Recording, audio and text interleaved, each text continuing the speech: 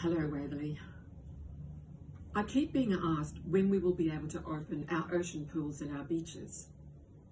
Firstly, I want to just remind people that it was the state government's orders to close all pools, including all our ocean pools. So Bronte and North Bondi pools had to be closed, regardless of whether we as a council wanted to do that or not. Also, as much as I would love for us to be able to open our beaches, even for a short time, our experience tells us that it's actually difficult to control the numbers once we do open the beaches.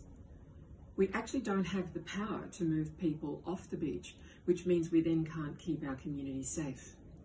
More importantly, we've also consulted with the police and they don't support the idea as their resources are very stretched given that it's the police we have to call if the numbers become too great.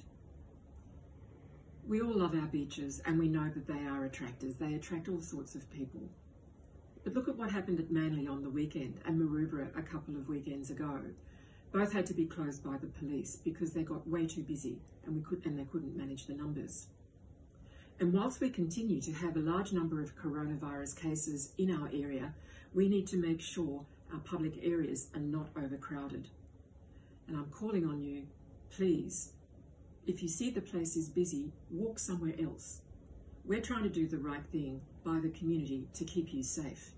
And if we do this together, if we stay home, we look after ourselves, our family, our friends, our colleagues, and most importantly, our community.